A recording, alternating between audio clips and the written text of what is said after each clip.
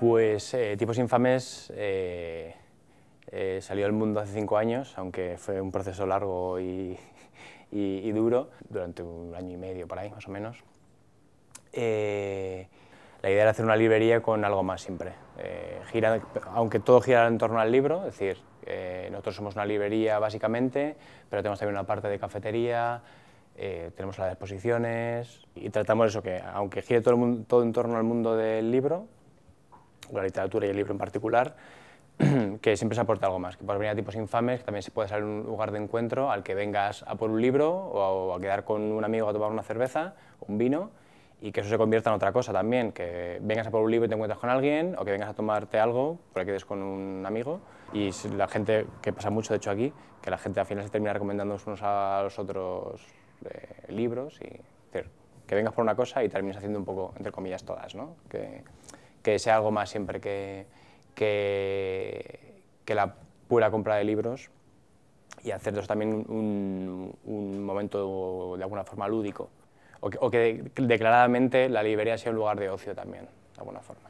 Eh, y luego actividades, pues aparte de las puras presentaciones de siempre, hacemos una de nuestras actividades preferidas es la del librero por un día, que consiste básicamente en, tratar, en traer, conseguir traer algún escritor que a nosotros nos guste particularmente y que haga de librero. La parte más bonita, ¿no? la, de, la, de lucirse y, recomendar libros. ¿no? Entonces nosotros pedimos que nos una, una selección de 10-15 libros, lo ponemos en una mesa y durante una hora y media, dos horas, eh, se dedica eso, a, a, quien venga por aquí recomendar sus, algunas lecturas preferidas tenemos una selección de libros que nos han gustado o los libros que queremos que nos van a gustar. No, digamos, no queremos que sean ni mejores ni peores. Es decir, nosotros tenemos sobre todo literatura de alguna forma eh, o narrativa más literaria, por decirlo, ajena a bestseller, etcétera, etcétera. Primero porque no lo leemos y segundo porque también son libros que se pueden conseguir mm, prácticamente en todos los sitios. Si sale un que en Follet Nuevo lo tienes hasta los kioscos, de hecho, por ejemplo. Entonces, la idea era que el espacio que tenemos, hacerlo a nuestra forma. Y yo creo que sí que han venido muchos lectores agradecidos a eso. De hecho, siempre decimos que es el,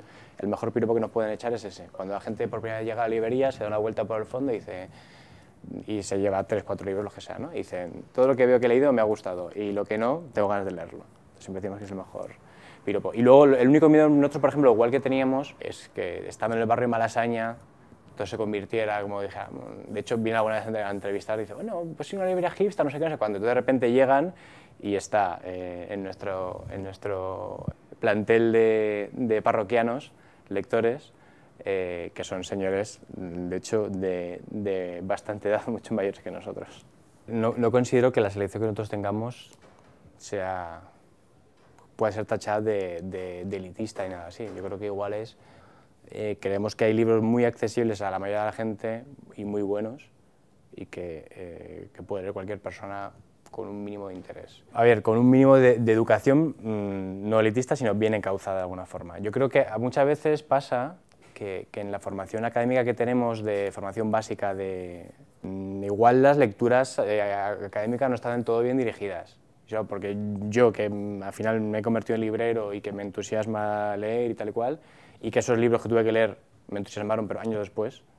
Yo recuerdo eh, leer la última noche el relato más breve del coloquio de los perros de las nueve ejemplares, porque me tenía que leer dos y no las aguantaba. Y empecé tres y no me las terminaba. Y esto era mm, primero, octavo de GB. Entonces creo que igual lo que tiene que leer una persona de, eh, en octavo de GB no son las nueve ejemplares de, de Cervantes. Es, es, es, complicado y nosotros no somos expertos para decirlo, pero yo creo que ahí sí que hay una especie de, de, de falta de, enfoque correcto para, para, para, entusiasmar de alguna forma a, las, a, la gente.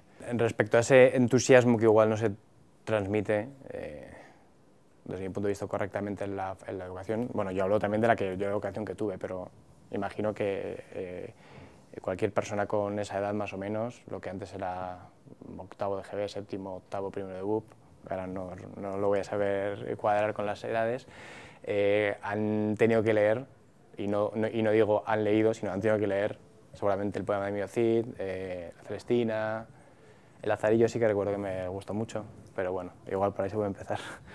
Eh, y, quería comentar que nosotros, por ejemplo, a, ese respecto, cuando siempre nos preguntan por el valor del libro, tal y cual, eh, nos gusta mucho decir que, realmente, eh, o valoramos mucho el momento en que uno cierra el libro y lo puede transmitir de alguna forma, ya sea que habréis hablado con gente así de clubes de lectura, eh, directamente eso, en una librería que tú transmitas tu, tu entusiasmo por, dice un cliente nuestro, Pepe, que aquí todos leemos lo mismo, porque claro, cuando a alguno de los tres nos gusta un libro, insistimos para que todo el mundo se lo lea, y luego a esa gente le gusta y lo recomienda a otras personas, tal igual. Ese entusiasmo, de alguna forma, en parte íntima a mí, como lectura, me viene pues, seguramente por un tío mío muy lector y tal cual, que me iba dejando libros y tal cual. Y también tiene ese punto ¿no? de que una persona mayor te elige un libro, y a lo mejor no es directamente tu padre, que siempre a lo mejor es más complicado tu madre.